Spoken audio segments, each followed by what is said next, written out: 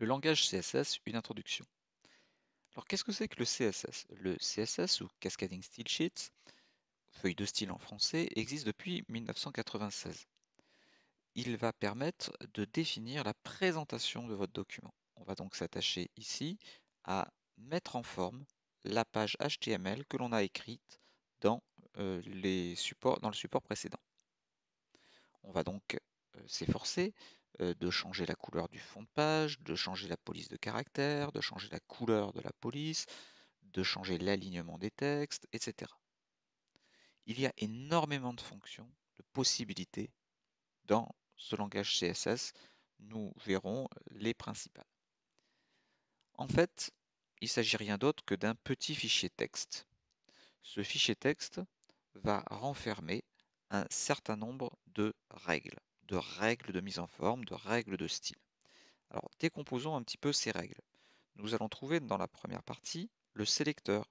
Ce sélecteur, c'est en fait bien souvent les balises que nous avions en HTML.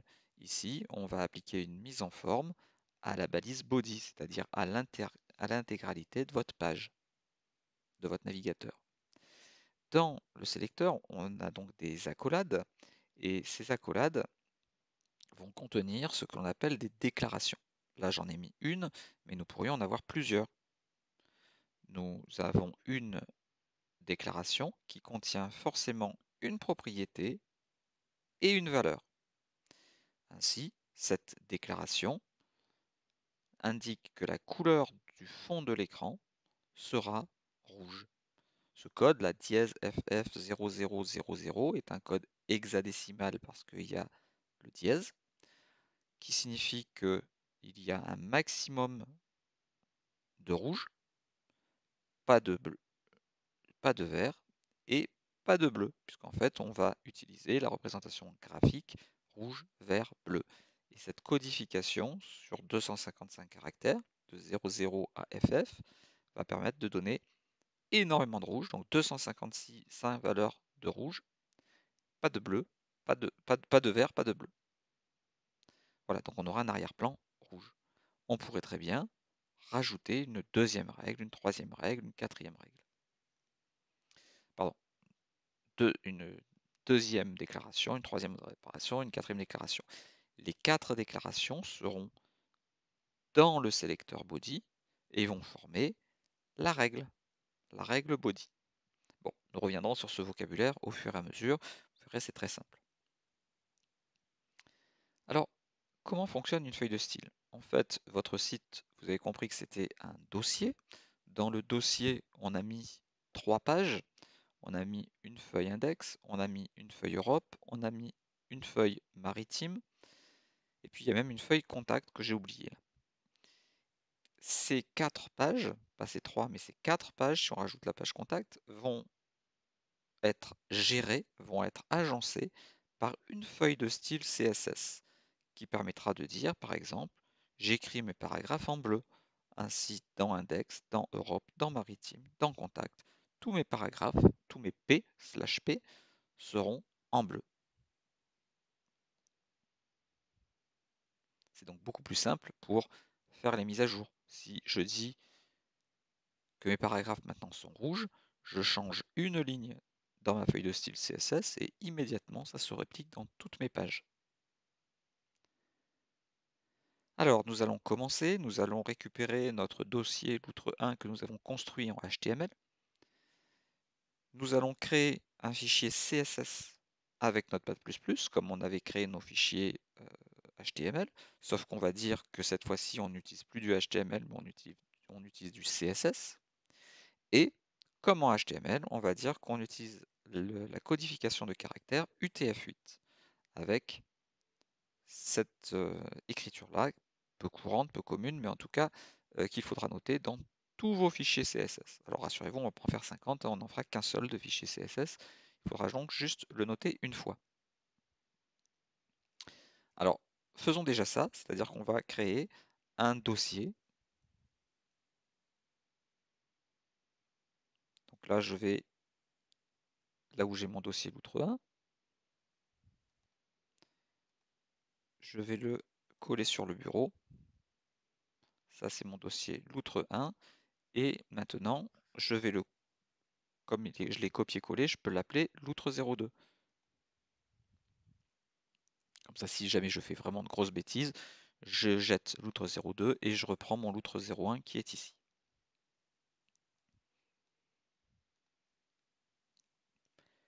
Maintenant que je suis dans mon loutre 02, j'ai une copie. on retrouve hein, le, mon, site web que j'ai créé précédemment avec euh, l'accès à l'index qui me redirige vers la page Europe au bout de 3 secondes, Europe qui m'amène à Maritime, Maritime qui m'amène à mon formulaire de contact, index qui me fait remonter euh, à la page d'accueil pendant 3 secondes avant de me rediriger vers le loutre d'Europe et ainsi de suite. Alors, ce que nous allons faire dans un premier temps, c'est essayer de rattacher toutes ces pages qui existent déjà, l'outre d'Europe, enfin Europe, maritime, contact, à, mon, à ma feuille de style.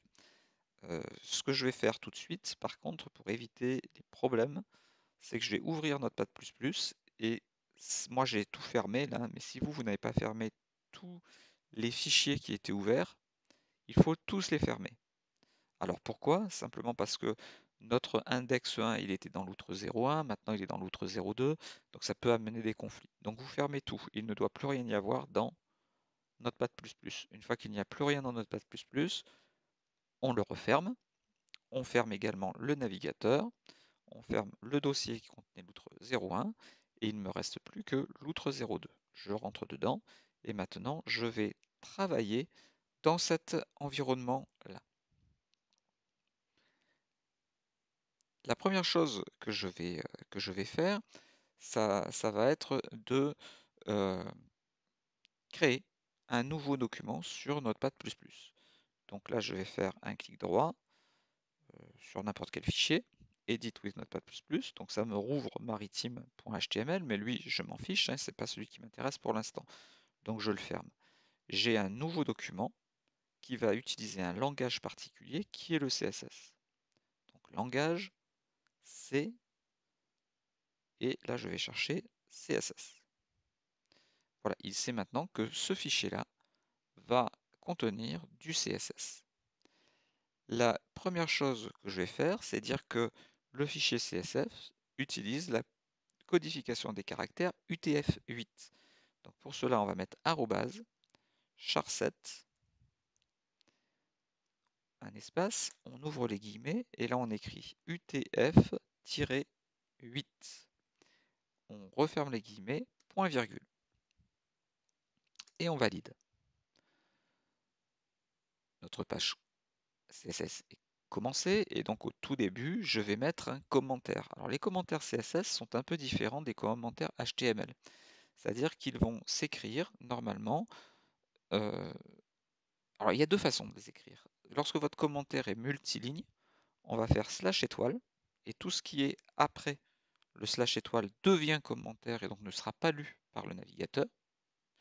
On peut aussi mettre un double slash, mais là, à ce moment-là, ça sera uniquement pour les lignes en cours. Quand on fait slash étoile, il attend de retrouver un étoile slash pour pouvoir arrêter les commentaires. Donc ici, on va définir une remarque. Alors, c'est en vert, hein, donc je peux faire ce que je veux au niveau de la mise en forme. Je vais à la ligne. Je suis, vous voyez, ça s'écrit en vert, donc je euh, vais continuer. Je vais mettre une étoile ici.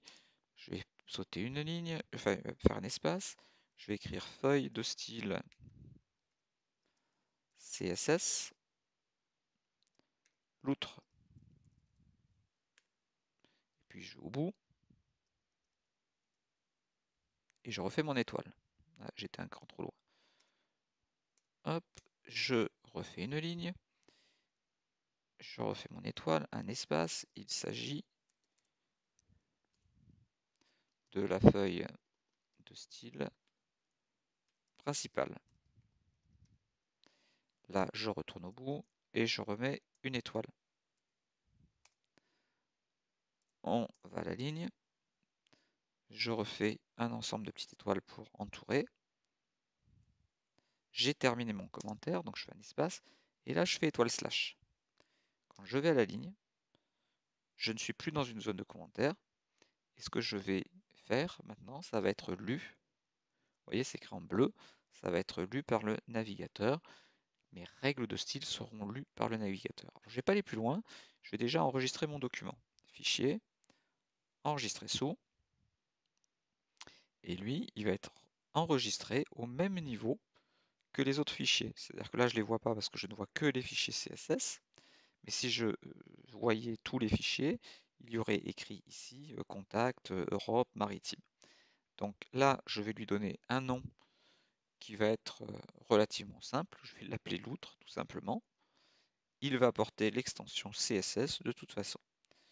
J'enregistre.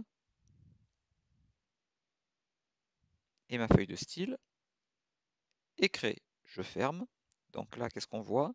On voit que dans le dossier loutre 02, on a tous nos fichiers HTML et on a l'outre CSS qui, à présent, est au même niveau que mes fichiers.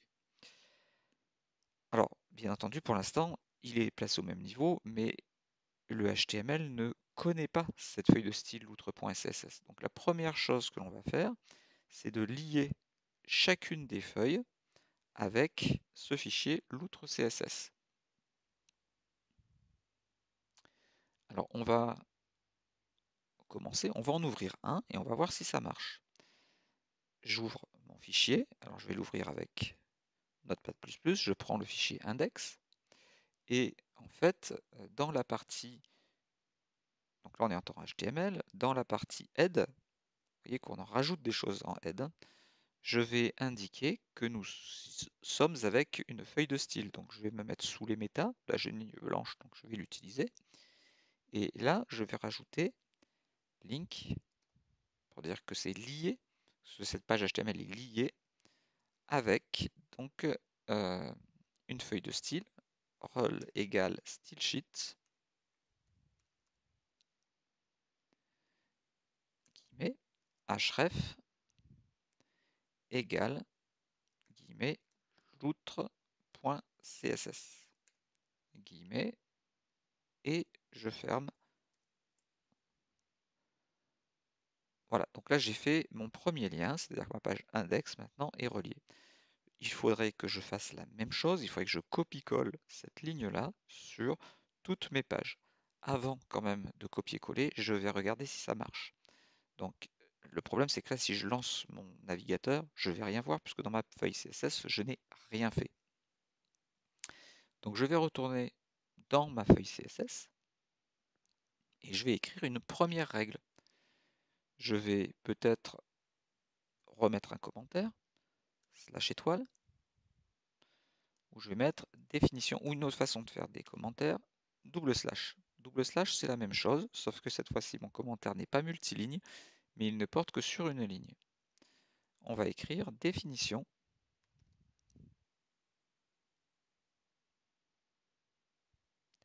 euh, des caractéristiques générales mon double slash n'a pas l'air de fonctionner, donc ça m'embête un peu. Donc je vais mettre un slash étoile tout simplement, pour pas perdre de temps. Définition des caractéristiques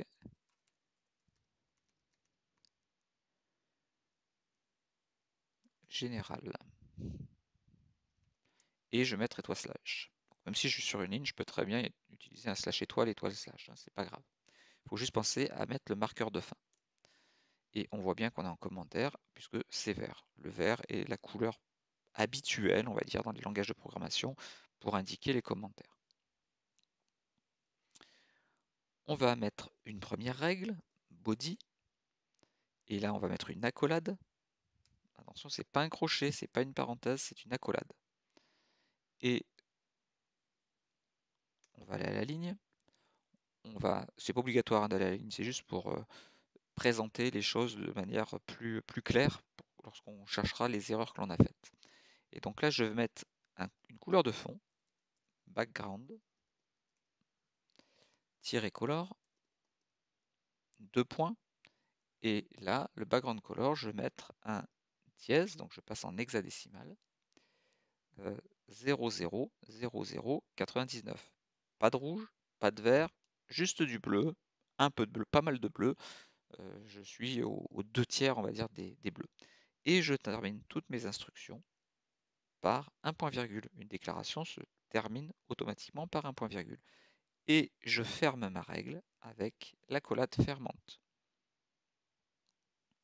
Ceci étant fait, j'enregistre ma feuille CSS.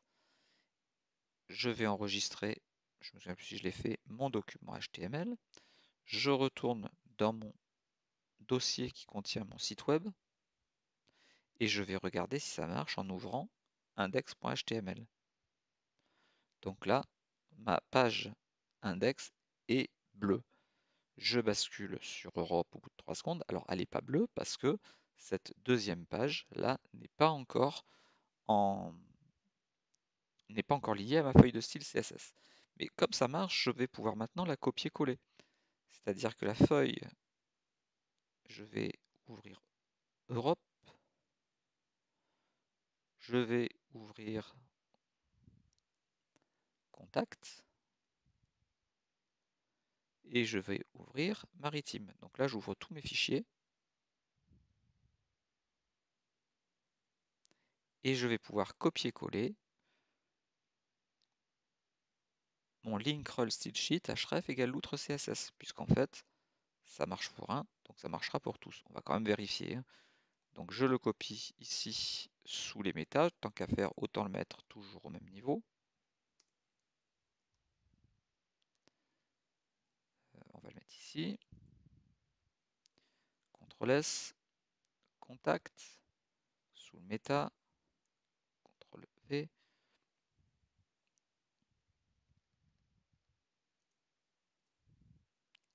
S et maritime. CTRL V. CTRL S. Voilà, donc maintenant, normalement, mon site fonctionne. On va retourner sur ce site, je remonte sur l'index, il est bleu. Au bout de 3 secondes, je suis redirigé sur la page Europe qui est bleue. Suivant, maritime est bleu. Suivant, contact est bleu. Voilà, nous avons donc lié notre feuille de style avec l'ensemble des pages HTML. On va voir maintenant comment cela fonctionne. Changeons simplement une ligne dans notre page CSS. Donc, je retourne sur ma feuille de style CSS et je vais changer simplement la couleur de fond. C'est-à-dire que là, maintenant, à la place de 000099, je vais pas changer la couleur, je vais mettre un peu de rouge, plus de vert, et la même chose de bleu. J'enregistre, l'ergonomie de mon site aura changé, puisque j'ai changé la couleur de fond. Donc on bascule ici, je rebascule sur l'index, et vous voyez que le bleu a changé. Au bout de 3 secondes, je passe sur une autre page. Toutes mes pages ont été mises à jour en une fraction de seconde. Nous allons voir maintenant l'ensemble des propriétés CSS, en tout cas un grand nombre des propriétés CSS dans les capsules vidéo qui suivent. Bon courage